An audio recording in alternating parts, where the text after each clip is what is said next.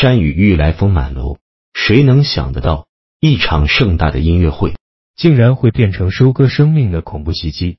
三月二十二日晚，莫斯科一音乐厅突发一场令人毛骨悚然的恐怖袭击。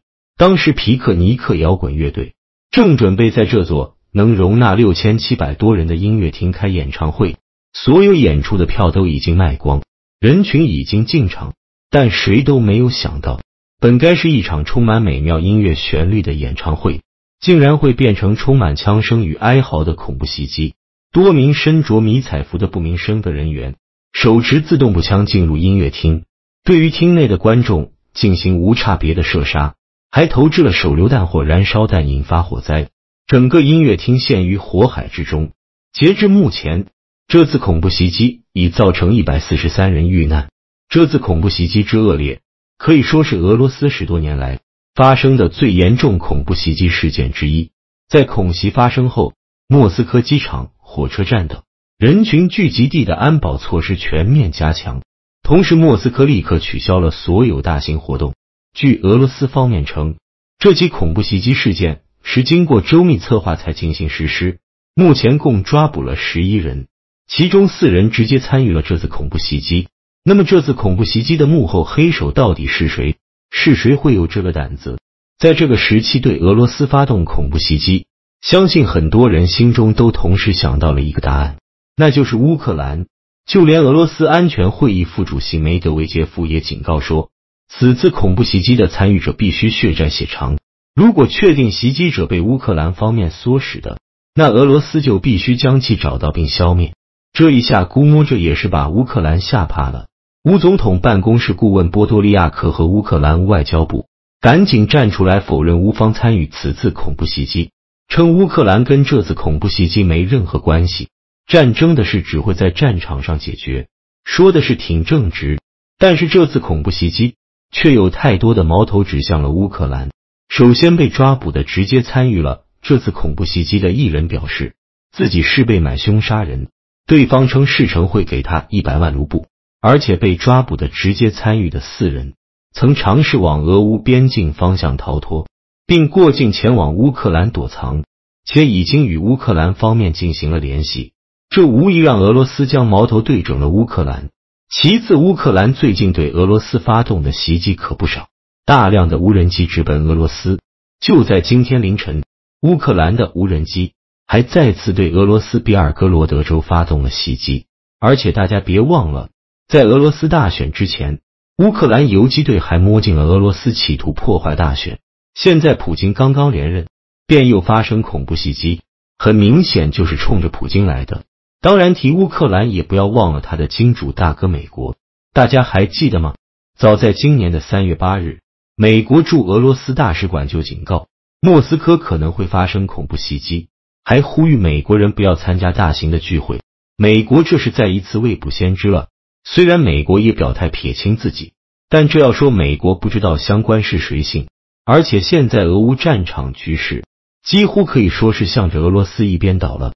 北约在俄罗斯家门口搞大规模军事演习，也没能吓住普京，反倒让俄罗斯的打击行动越来越狠。现在俄乌战争已经到了关键时刻，偏偏在这个时候发生恐怖袭击，或许是美国和乌克兰那帮子人发现。在战场上是没法撼动俄罗斯了，便想要通过在俄罗斯国内制造动乱，来打乱俄罗斯的战略布局。还记得普京曾经对于恐怖分子说的话吗？原谅他们是上帝的事，我们的任务就是送他们去见上帝。在机场抓住就在机场击毙，在厕所抓住就把他淹死在马桶里。虽然目前还没有确凿证据，但若是真是乌克兰所为。那乌克兰这次可就真要吃不了兜着走了。以普京对恐怖分子的痛恨以及有仇必报的性子，无论幕后黑手究竟是谁，都要面对普京猛烈的复仇行动了。这次事件也说明了几点：第一是恐怖袭击堪称全人类的敌人，而且防不胜防。俄罗斯并不是没有防卫力量，实际上俄罗斯特种部队有着复杂的编制和庞大的规模，几乎所有强力机关。都有自己的特战部队，俄军总参谋部有军事情报总局，陆军有特种侦察旅，海军有步兵特战分队，俄罗斯国民禁卫军也有规模相当的特种部队。此外，像内务部、紧急情况部和司法部、民防部、联邦安全局、对外情报局、总统保卫局，甚至俄罗斯财政部、海关和俄罗斯铁道总公司等，都有自己的特种部队。夸张一点说，像莫斯科的大街上扔块板砖，都可能砸到一个俄罗斯的特战精英。但是这么多特种部队的存在，并没有阻止恐怖袭击的发生，说明恐怖分子无孔不入。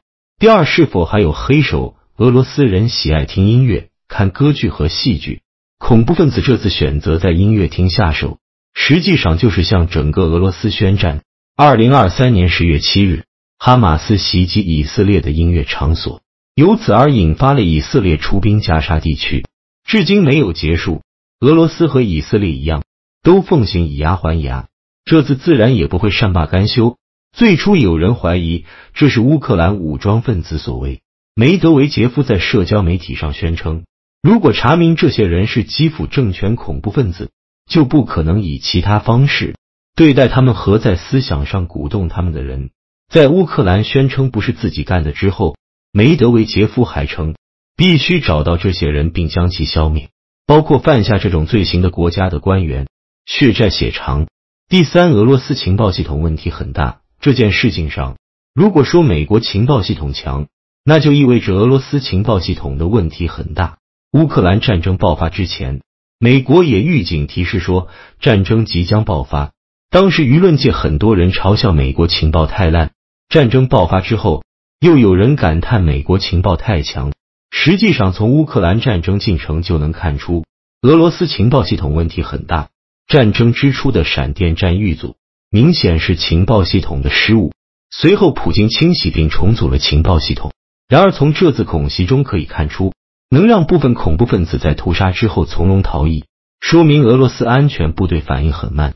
安全部队反应慢，其实就是情报系统的问题。舆论界常说，某某国家被渗透的很严重。所谓渗透，大部分都是从情报系统切入。俄罗斯发生这么严重的恐怖袭击，情报系统绝对脱不了干系。也许不用多久就能看到俄罗斯情报系统人事调动的新闻。